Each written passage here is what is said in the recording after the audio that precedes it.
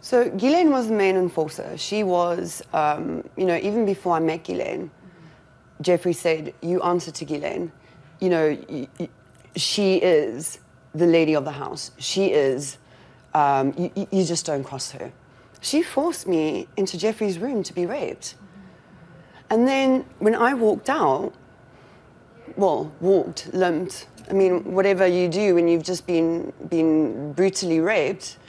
I looked at her, and that's why it was really important for me to be there and look at her because when I looked at her after she forced me into that room to be raped, she smiled, and that's why I had to be there because you know what?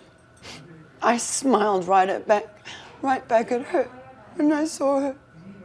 None of this could have happened without the courage of the victims because uh, they testified uh, very bravely. They were cross examined uh, vigorously by the defense. Uh, their motives were questioned. uh, and they just held their heads up and with dignity answered all of the questions. And they made many sacrifices for the cause of justice. And again, others uh, who allege they were victims also shared their information with law enforcement, as my clients did.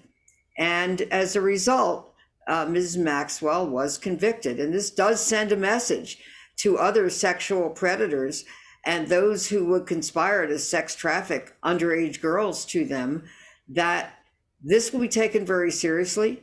Charges may be filed against you. You may be prosecuted. You may end up getting sentenced to prison for the rest of your life, as may be the case with Ms. Maxwell.